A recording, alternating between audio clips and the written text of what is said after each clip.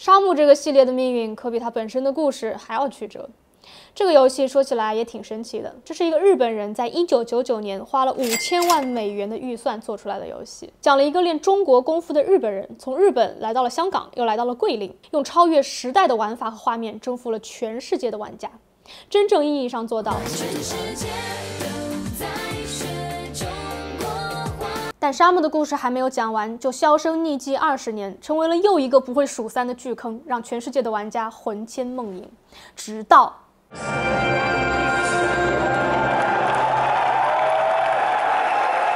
这个系列到底讲了个什么故事，能让老玩家们惦记了二十年？我们一起来看看吧。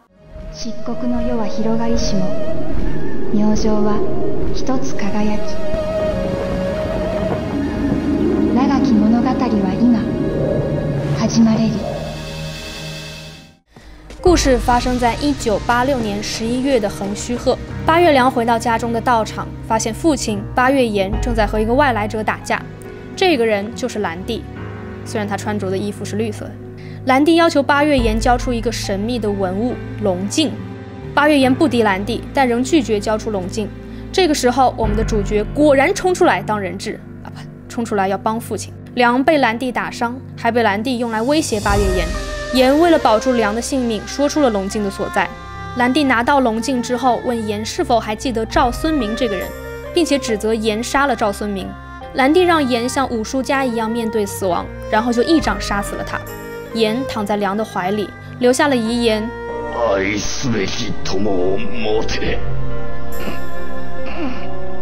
就去世了。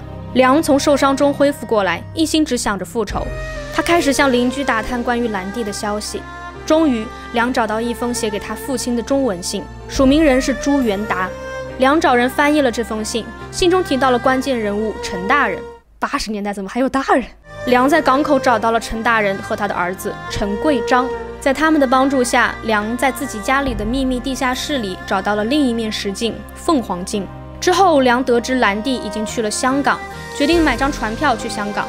只不过找了一个不太靠谱的旅行社——亚洲旅行公司，他的票还被《指环王》里的咕噜给吃掉了。这个能跳得很高的人叫茶一，是兰蒂所在的中国黑帮蚩尤门的一个马仔。陈大人决定帮助梁去香港，但这个时候茶一出现，砸伤了陈贵章，梁一拳把茶一打到了海里。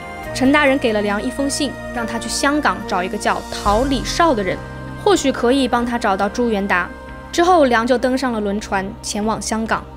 梁抵达了香港，开始寻找陈大人提到的人陶李少。梁邂逅了性感机车少女 Joy 和帮派小男孩翁。一番打听，梁确定了陶李少住在文武庙。在完成了文武庙给他的考验后，梁终于见到了陶李少。真名洪秀英。洪秀英觉得梁一心只想着复仇，不愿意帮他，但其实，在背后还是给梁提供了一些帮助。梁在庙里待了几天，又出发去寻找新的线索。在翁和 Joy 的帮助下，梁认识了可以帮他找到朱元达的人——黑帮 The Heavens 的老大任武英。任开始并不打算帮忙的，但他看到了梁的凤凰镜之后，终于对梁的旅程产生了兴趣。认为围绕这个神秘文物有大钱可以赚，决定帮他一起在九龙找朱元达。梁和任开始在九龙寻找朱元达的线索，同时当地的黑帮黄天惠也在帮兰蒂寻找朱元达。梁和他们发生了多次冲突，还被抓起来过。通过朱元达过去的部下牵线，梁终于见到了他，但被斗牛带领的黄天惠跟踪，梁打不过斗牛，朱元达也被掳走了。为了救出朱元达，梁和同伴潜入了黄天惠的据点黄天楼。哎，真是毫不意外的名字。他们来到楼顶，斗牛在等他。旁边，蓝定的马仔正要把朱元达带到直升飞机上。梁打败了斗牛，救下了朱元达和翁。兰蒂在直升机上目睹了一切，然后飞走了。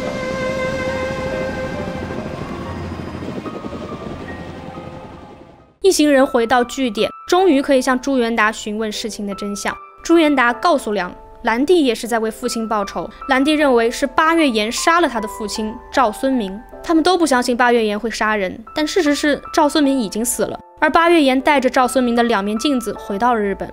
朱元达说，两面镜子合体的时候就会变成一把钥匙，可以开启清朝的宝藏。他建议梁继续去桂林寻找线索，去那里的白鹿村寻找镜子的后人。而兰蒂也在前往那里。在桂林，梁发现一个溺水的小女孩在河里救一头溺水的鹿，她的名字叫林沙花。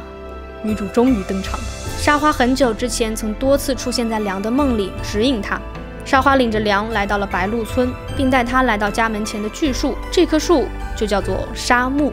他们发现沙花家里有龙镜和凤凰镜的图纸，想向沙花的养父寻求答案。在采石场的深处，并没有找到父亲，但通过一扇门，在一个很大的洞窟深处，他们找到了沙花父亲留下的字条和一把七星剑。字条上说，他的任务已经完成，命运的时刻即将到来。两把剑插入台座，放入凤凰镜，触发了机关，火光照亮山洞，石壁上浮现龙镜和凤凰镜的巨大石雕。剑之后就飘起，浮在半空中。两个人看着剑，意识到这次相遇的情景和沙花唱的歌词吻合，命运的齿轮终于咬在一起。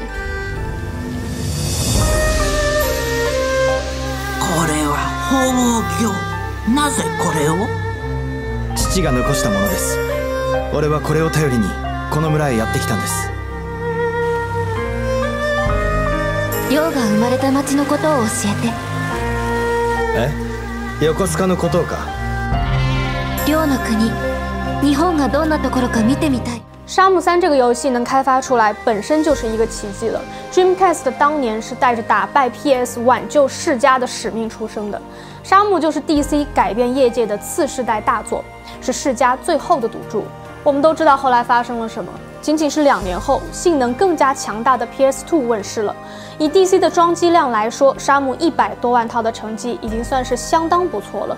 但是这完全不足以覆盖高昂的开发成本和世嘉山一样高的负债。再之后，沙漠二被卖给了 Xbox 做独占，铃木玉被雪藏，沙漠系列销声匿迹。八月凉旅程的后续，玩家一等就是二十年。一个二十年前的游戏，能仅仅靠着粉丝的执念，在二零一五年以众筹的形式重生，已经非常了不起了。虽然《沙漠三》的众筹预算，即便是放在一九九九年，也不及《沙漠一》的十分之一。捉襟见肘的画面质量，更像是从二十年前直接穿越过来的。但游戏中我们看见的中国桂林。里面的一草一木、一砖一瓦，都汇集着老玩家们真实花出去的钱和那份沉甸甸的热爱。我无法强求大家都能够喜欢《沙漠三》，但我是真心希望它能够多卖出去几份的。虽然它不是一个与时俱进的游戏，但我能说，它绝对是一个值得被记住的游戏。六，もっと六のこと聞かせて。